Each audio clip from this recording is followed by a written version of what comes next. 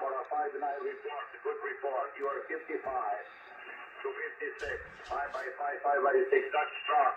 That's very clear. Propagation to very, very strange. QSL fire and over. Thought I'd show these side by side. Xiegu X6100 and the Yaesu FT710. So these are about £1,100. Actually, in, in the USA, they're doing a deal where you get them for $1,000, and I think that's amazing. Obviously, it's, it's, it's, you know, it's a vastly superior radio to the Xiegu, but the Xiegus are excellent portable, uh, very functional radios, very good on HF. So take your pick. I mean, if you want a portable radio, look at this one. You just pick it up, carry it wherever you like. And it's got a built-in tuner HF6. And but if you want a really good solid base radio that is, I would say, semi-portable, then you go for the uh, the Xiegu. There's about five hundred dollars, let's say, pounds difference. And really, for for what you get, you you know you get a lot more for your money if you go for the for the Yaesu. But it's fair because if you if you really want a portable radio, I mean the Xiegu decodes CW, PSK, RSK, voice does voice record.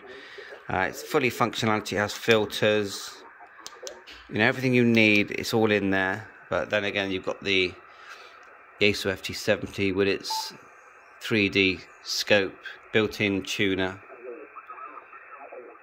It always sounds good. It's very good with the noise floor.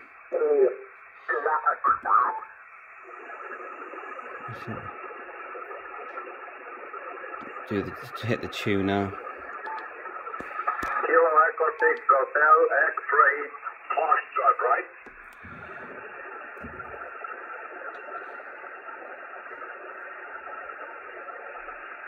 I'll just show that. Just switch the antennas one sec. So we're on 7157. Okay, 100 kilometers, 120 kilometers from North Los Angeles, California. My name's Juan. Juliet Ocean Alpha Norway.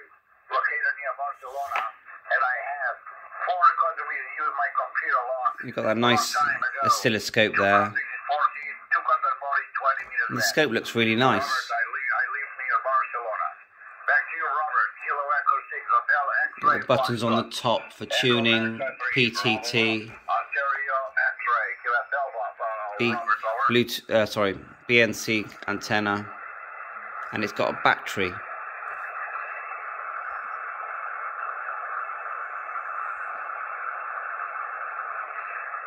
Let's, let's see what these stations are.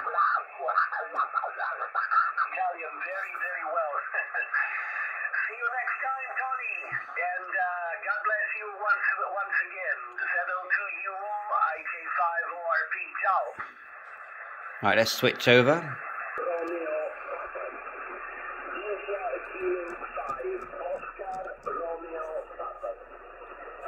well, thank you so much for five and nine. You're a five eight to nine as well.